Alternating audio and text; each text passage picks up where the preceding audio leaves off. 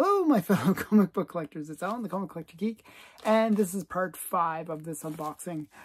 Should be a pretty cool one. It's more modern books, a bit of Golden Age, but mostly modern. Um, every so often, I like slabs. And every so often what I'll do is I'll look for opportunities to buy very affordable slabs. Like, I mean, really affordable. Uh, and that's partly what this is. Um, my comic shop, um, inside joke, uh, has all these um, slabs that you can buy for almost, actually less than the cost of the slab some of this is that. So I'll show you some of the books. It they'll be good. They're good books. It's just they're some of them are more affordable than others. Okay, this first one's not one of those more inexpensive ones, but it is a good one. Um, this is Milk and Cheese number one. Now, uh, this is from 1991, and it's it's like one of these uh, like alternative or underground comics. Um, that was really, really popular late 80s, early 90s. I actually picked up in the previous unboxing series, I showed the very first appearance of Milk and Cheese. Um, but this is their first titled book. Uh, just a cool underground comic series. Uh, this is from uh, Slave Labor. yeah, very cool, cool book. I'll show you the back as well. Um, but yeah, this, they were very popular in the 90s. It was coming this summer from Slave Labor, Labor Graphics. What is it? Uh, Oblivion City. Your kind of town.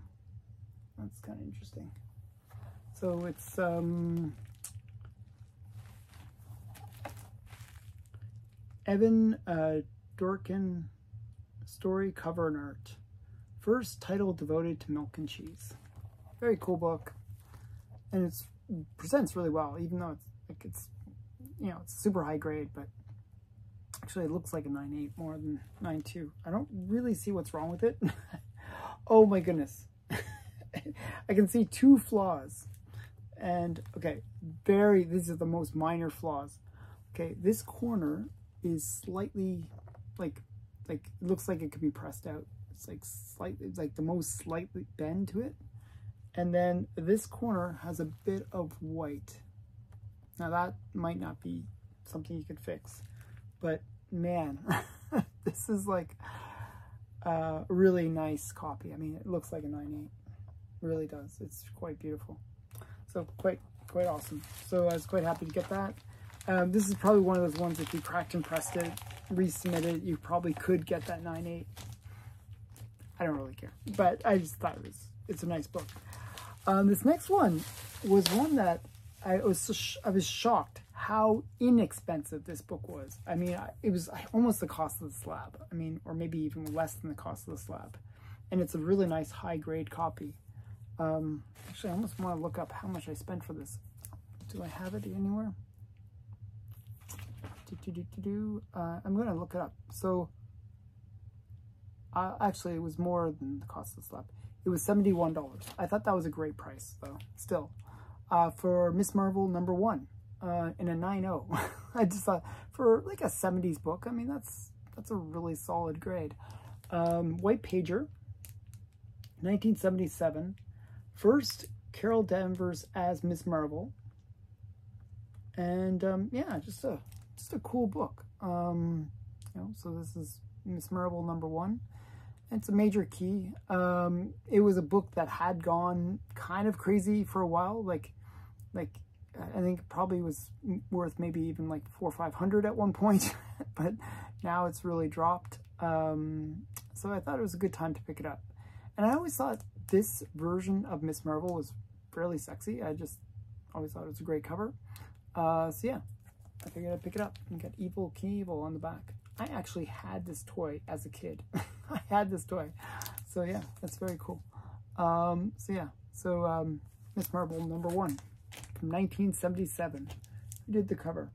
Um, Gerry Conway story, John Romita, and Dick Giordano. Giordano. Another cool book. This is not a cheap one. Uh, this one was a bit more expensive, but I was pretty excited to get it because I always love this cover. Um, this is another, like, we're sort of sticking in the bronze and to um, modern age books so far, but this one is another great book from the like 90s. Uh, this is Punisher 102 in a 9.8. I was super excited to get this book. I wanted to get it in high grade. Um, just a great book. I mean, this is one of the craziest covers with Bullseye on the cover. And you see um, the Punisher reflected in his sword, um, or dagger, or whatever it is, knife. Um, so just a really cool uh, uh, Bullseye cover. Just, he looks so, like, insane.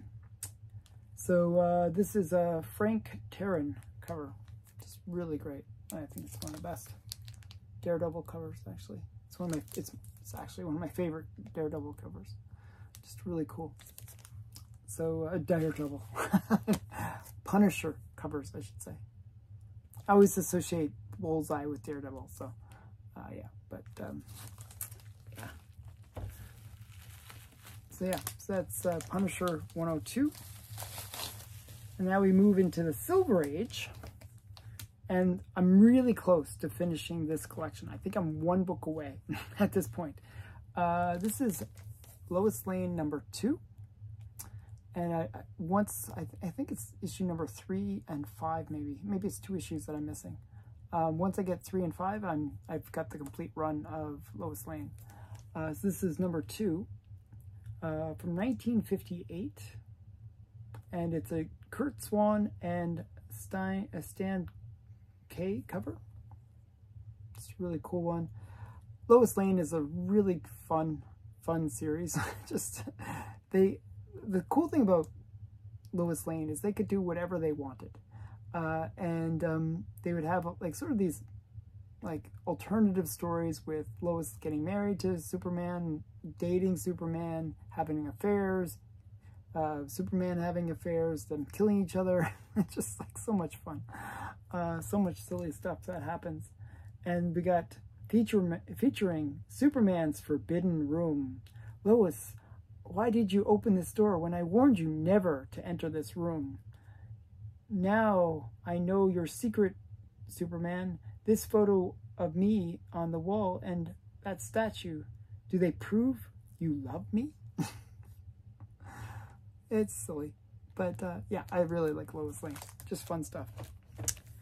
Okay, um, now another very affordable slab. I forgot how much this was. This was really, really, I got I had the prices in front of me. Uh, that, so I'm just curious how much I paid. Oh, this was on a different interior, I guess. Oh, different one. Oh well, I forgot. I think it was like, this was the cost of the slab. I'm pretty sure. I think it was like 20, I want to say $20 kind of level. Um, New Mutants number one. I just wanted to have a graded copy. I have a raw copy of this book, but um, I just wanted a graded copy. Um, this one's highly underrated. Um, it's the second appearance of the New Mutants. The first is in a magazine size format. Um, it's the story of Karma and a story continued from Marvel graphic novel number four, which is a magazine size. So this is really the New Mutants' first comic book appearance. And, you know, very underrated book, major key. So it's a cool one. And then, as I was saying, there were some books that just like the cost of the slab. These ones I thought were just interesting. I think I paid like it's not on this list. I thought it was on this list. But it isn't. Yeah, it's a different list. Um, but yeah, but these ones were like, I think 10 bucks each. so, and they're 9 eighths, like, like less than the cost of the slab. Uh, but they're what I think are really cool. So this one is Wonder Woman, but you see how it kind of, I don't know if I can make it work. Let's see if I can make it work. Yeah, so you get this kind of interesting effect. I don't know. I always like this kind of thing. Um, and um, yeah, so it's Wonder Woman number one. and it's um, 3D lenticular front and back. Superman cameo. And cover by uh, Tom Raney.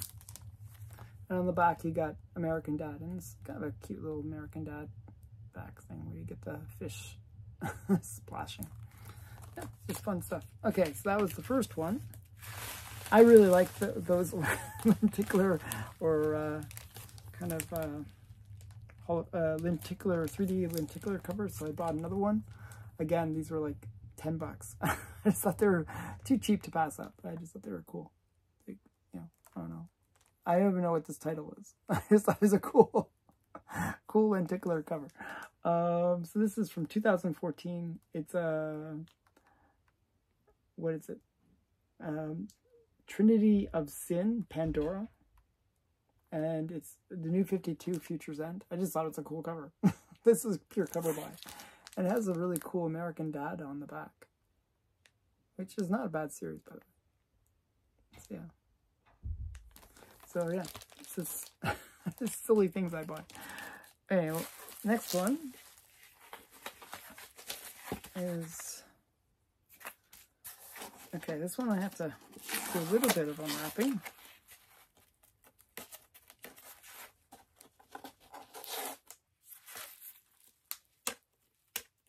So yeah, so um, every so often you can buy like these really inexpensive uh, uh, graded comics, and I figure, hey, why not? Why not? It's, you know, they're fun, not too expensive. Why not? Okay, this one, whoa, I didn't realize how um, uh, interesting it was. So this was um, Duty Calls number one and I have to censor it quite a bit. One second. One sec, I have to censor a bit. I won this in auction, and it was, I think it was like 40 or 50 bucks. It was a little bit more expensive. It's one of six. Um, it is a bit risque, so that's why the censoring. Um, it's Duty Calls number one from Tuxedo Tiger Comics uh, 2023, manufactured with uh, PE I, I, am not sure what PE stands for, but it's the edition size maybe. Five of six. So it's number number five of six printed. Um, Friday the 13th uh, edition. Virgin cover. And it's uh, LC Ferretus cover. I'm not sure who he is, but but just a cool one. There, I'll zoom in without showing anything. Just a really cool book. I just thought, hey, why not? I mean, it's it was pretty sexy, but and very like there's only six of them, so can't go wrong when it's that rare. And this next one was another great slab that I got. So these are all very affordable slabs. That's maybe the theme of this video. But the next one is a Golden Age book um, that I got really, really affordably. Um, they actually have the original price on it, but I didn't pay that. I, I think I got it for a 100 So um, this is Four Color Favorites, um, number 31 from Ace Periodicals, 1947. I just thought it was a great Good Girl uh, art cover. Uh, my friend Lyle was the one that told me about this one, so um, I was like, oh, I'll definitely check that out. And he said, oh, it's got a best offer too. So I was like, oh, okay, I'll see what I can get, how much I can get it for. Um, so I just thought this was good. Uh, you know, cute cover. Guy slides down the slide and leaves a little something behind. So just a cute cover, and uh, it's a nice good girl art cover. And you can learn how to take care of your bad skin, which is always useful.